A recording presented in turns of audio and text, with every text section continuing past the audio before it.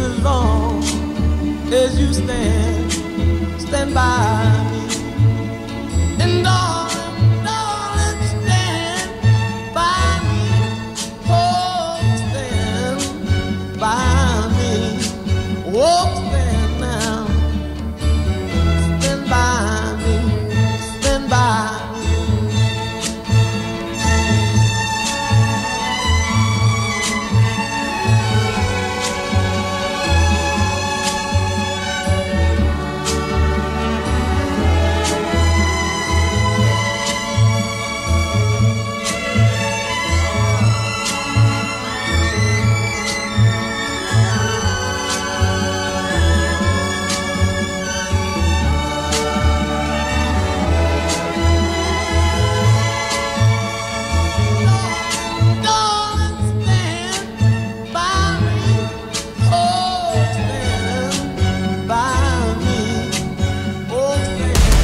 This is Radio 2 on the BBC Sounds app on your smart speaker and on 88 to 91 FM.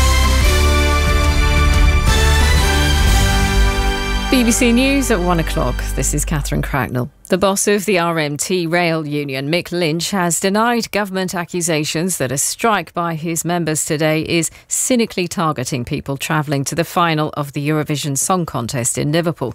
Mr. Lynch said he was sorry for any disruption, but added the union had given plenty of warning about the walkout. Workers are staging the day of protest at 14 companies as part of their dispute about pay, jobs, and conditions. Excitement's building in Liverpool as thousands of people descend on the city ahead of the Eurovision final. The UK is hosting the event on behalf of last year's winners, Ukraine, and organisers have promised a distinctly Ukrainian flavour to the ceremony. This woman, Ola, fled Ukraine last year and has been living with family in Wales. She's in Liverpool for the contest and says they've been made very welcome in the city. When we got off train and we saw all these Ukrainian colors, Ukrainian flags, it's so welcome. It's made it made us to think like we're at home, like a piece of home. So thank you for that. The Ukrainian President Vladimir Zelensky is expected to meet the Pope during his visit to Rome today. The BBC's Paul Moss says it'll be an interesting conversation, given questions about the Pope's position on the Russian invasion. On the one hand, the Pope has condemned Russia for, for committing war crimes in, U- in Ukraine. On the other hand, he's never condemned or criticized Vladimir Putin personally. And at times, it does seem like the Pope has been hinting that NATO and the West is to blame for Russia invading Ukraine. To say the least, Volodymyr Zelensky does not see things that way. Police in County Down say a viable pipe bomb was found outside a house in Newtownards during a security alert last night. The residential area was evacuated and people were only allowed back to their homes this morning.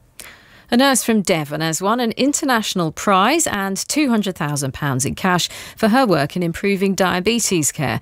Margaret Shepherd, who's from Exeter, received the Aster Guardians Global Nursing Award in London last night. Anthony Birchley reports. Margaret Shepherd said she was shaking and honoured to have been announced the winner of the award, which organisers say seeks to recognise the contribution of nurses to humanity. In 2002, she set up a national network of specialist nurses to raise awareness of monogenic diabetes, a condition which can be passed from parent to child and is hard to diagnose. The prize, now in its third year, considered applications from more than 50,000 nurses around the world. Judges said Ms. Shepherd exemplified the highest standards of patient care and described her dedication as inspirational. And the weather largely dry and sunny this afternoon, but low cloud may linger in some eastern coastal areas, and there's the chance of the odd isolated shower in the west.